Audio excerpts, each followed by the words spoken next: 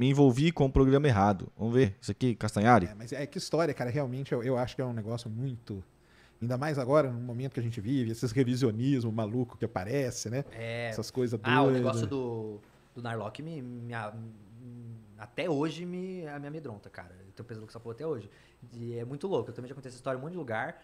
Que eu gosto de deixar claro o que, o que rolou. Porque eu não fazia a menor ideia de quem era Narlock. Ah, que você tá falando daquela. É uma série, né? politicamente O correto. Guia. Que Isso foi outra, outra coisa que enche meu saco até hoje. né? Mas esse que enche o saco é a galera mais de, de esquerda, no caso, né? Entendi. É porque eu sou odiado pelos dois. Tá bom, né? É, tô fazendo alguma coisa certa. Mas, não, mas era isso, do, do guia politicamente, é, eu fui convidado pra apresentar o programa, eu não fazia a menor ideia que era baseado... Esse aí você não participou de nada. Não, então, não, o programa é meu. Entendi. Só que venderam como se fosse. Você era, Eu- tipo, Eu, simplesmente sou apresen- apresentador. eu era apresentador, e aí o que, que eu fiz? É claro, um programa falando de história, que eu pedi pra eles mandarem pro meu historiador, pra O revisar. roteiro antes. O roteiro eles não Não, mandaram. ah, cara. E aí o que, que eu fiz? Eu falei, hum, deve ter alguma pegadinha aí. No Tem dia que na eu fui linha. gravar, eu levei o meu historiador comigo.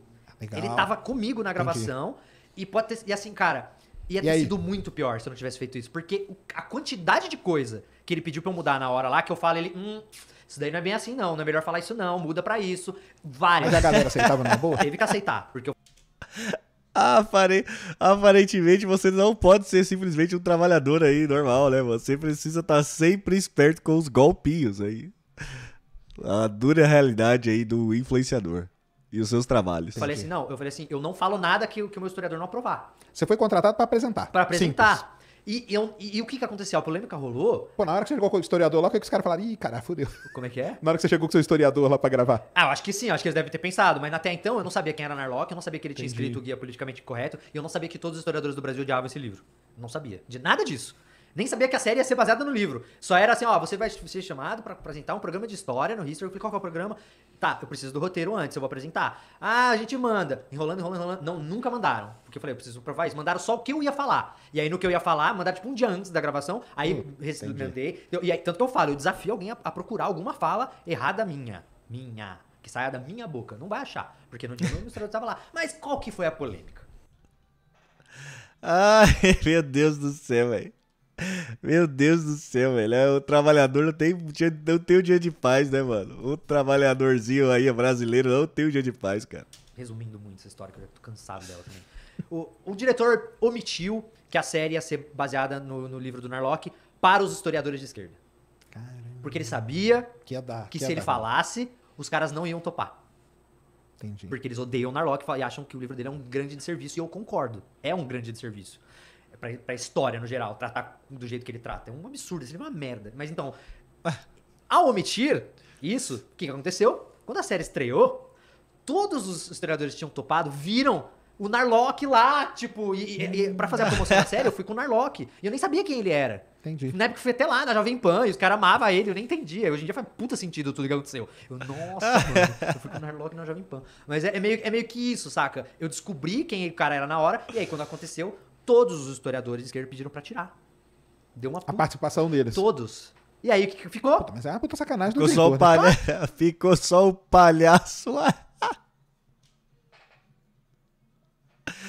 Ficou só o bobo da corte lá no meio. Aí um corte bom aí, ó. Alcante. Isso aí, ó. Fe- é, o Felipe Castanhari, o bobo da corte. Claro que é. Só que eu fui arrastado pra essa merda, porque quando lançou a série, eu era o cara, a- todo mundo achava que a série era minha. E aí a galera começou a me atacar pra caralho, de ah, essa série do Narlock que você tá fazendo. Eu, não, peraí, gente, mas.